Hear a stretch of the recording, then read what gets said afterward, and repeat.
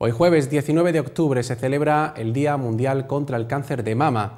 Gran parte de España se viste de rosa para recordar a las luchadoras que tratan de ganar la batalla a esta terrible enfermedad. La edil de la mujer, Patricia Recio, ha querido recordarlas en esta jornada tan especial. Hoy 19 de octubre se celebra el Día contra el Cáncer de Mama, incluido en un mes que la Organización Mundial de la Salud dedica íntegro a la lucha contra este tumor. En esta fecha se lleva a cabo una jornada en la que la mayor parte de las localidades del país se viste de color rosa para recordar el compromiso de toda la sociedad en la lucha contra esta enfermedad.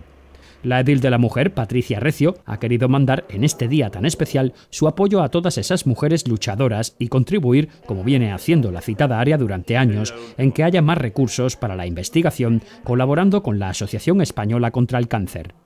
Desde Radio Televisión Manilva hoy queremos rendir un homenaje a todas las personas que siguen luchando día a día para afrontar esta enfermedad, también por las que ganaron esa batalla y especialmente por todas las que se fueron, las que se quedaron en el camino.